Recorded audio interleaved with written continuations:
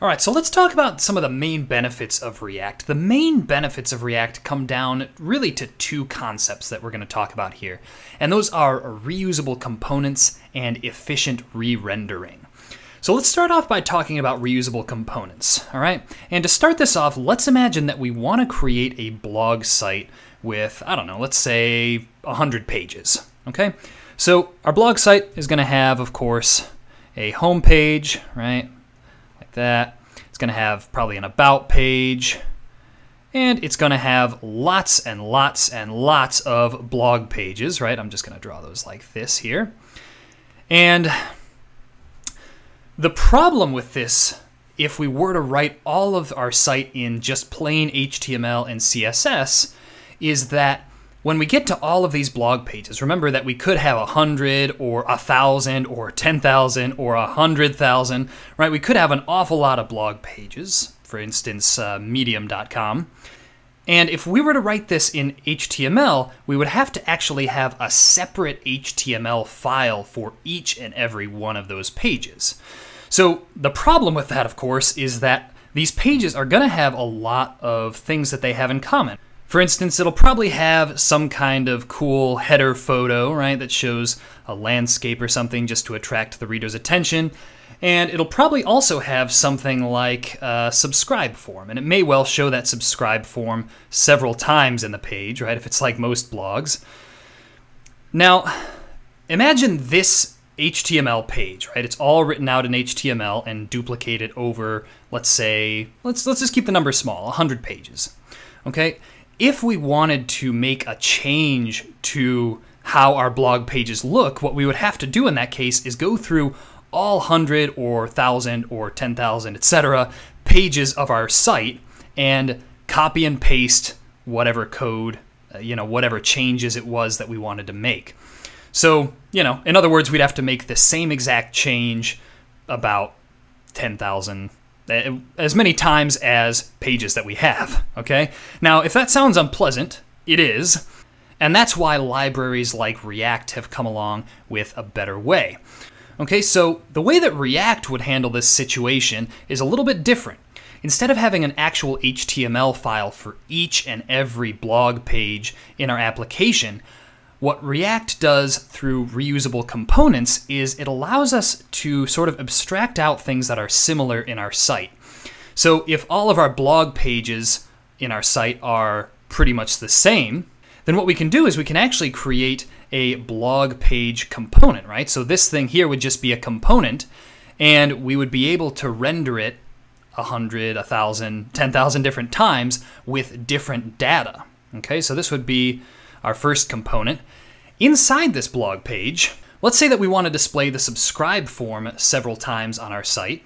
Okay, so, you know, in addition to having it on our blog page, might also want to have it in our about page, for example. What we would do is we would simply create a subscribe form component, and we would simply include that once inside our blog page component and once inside our about page component.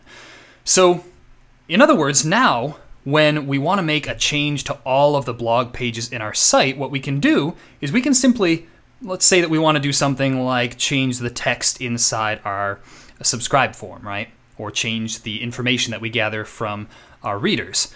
Well, what we could do is simply make one change to that component and it would automatically be reflected across all of the pages in our application. Now, if this sounds a lot easier to work with than basic HTML, then that's because it is. And that's why reusable components form a very large part of not only React, but also pretty much all front-end libraries in use today, such as Vue and Angular and Svelte and all those other ones out there. So that's the basic concept of reusable components. We're going to be seeing how to work with components in React a little later on, and just some of the things they allow us to do. But let's move on first to talk about the second main benefit of React, and that is efficient re-rendering. Now, before we get to efficient re-rendering, let's talk about rendering in React first of all. In React, as you're going to see, we use a special syntax called JSX, which looks an awful lot like HTML, right? So you might have divs like that with some kind of text in the middle, and a closing tag like that. So if you've ever worked with HTML, working with JSX is going to be pretty simple. We'll talk more about that later on. But essentially, what React needs to do in order for the users of our application to actually be able to visit our site and see what our site looks like is React has to take this JSX, which the browser has no idea what to do with, and transform it into actual HTML. Now, these two things look pretty similar right now, uh, you know, just in uh, on this drawing, but they're really very different things, as you'll see later on. So that's what rendering is. When React takes all of the components, all of the React code that we've written, and generates HTML, which can be displayed in a web browser.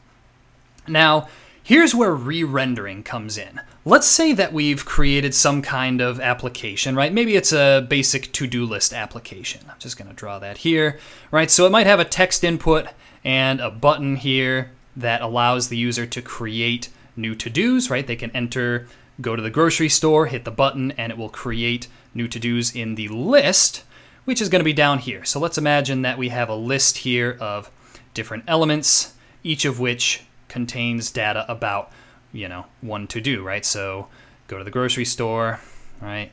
Uh, this could be learn about React, whatever whatever's on your to-do list, right? So let's say that we have this rendered to the screen, right? This is all HTML elements. You know, this is there's probably a div surrounding this whole thing. Each of these is probably its own div. You know, you have button elements, input elements, etc. Now let's say that the data changes somehow, right? Maybe the user clicks this button and creates a new to-do. Maybe the user, you know, maybe each of these to-dos has a button that allows you to remove the to-do, and the user clicks one of those and removes one.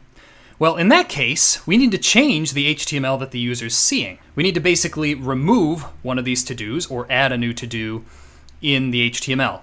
Now, if you were going to do this with vanilla JavaScript, and by vanilla JavaScript, I just mean, you know, JavaScript without any kind of libraries or frameworks. If you were going to do that using vanilla JavaScript, what you would have to actually do is write code to specifically remove one of these elements. So you'd have to find an element by ID or class or order, something like that, and remove it from the DOM. Or if you were adding an element, you would have to actually find this container element around our to-do items and add a new one in there. Okay? Now that might not sound too bad in the context of this simple to-do list application that we're talking about, but once you start getting into more complex applications, right? Imagine even something like Trello, where it's a board and things are moving around and other people are editing it at the same time. In situations like that, it gets tremendously complicated to make sure that what the user is seeing is actually representative of the data behind the scenes. So that's what efficient re-rendering is all about. When the data of our application changes, right? When the user deletes a to-do in this application or moves cards around on a Kanban board, what they see after that has to reflect the new data. So that's just plain old re-rendering, right? Making sure that the DOM that the user is looking at reflects the data behind the scenes. Efficient re-rendering takes this one step further, okay? So again, let's let's imagine that we have this to-do list and one of these items changes, right? Maybe a user marks it to do as complete, adds one, etc. What other libraries, such as Angular, might do in this situation is simply re-render the entire app, right? So this whole thing would have to be re-rendered from scratch and you know basically all these things would be removed and then it would go in and insert all of these elements into the DOM again. Now, that's not particularly efficient and it's also not necessary, right? Because in our case here, if only one of our to-dos is changing, we shouldn't have to re-render the entire app. If this to-do is the only one that's marked as complete, let's say, if the user clicks the button, then why do we have to re-render these other to-dos? They're just going to look the same. Why do we have to remove them from the DOM and then put them back in?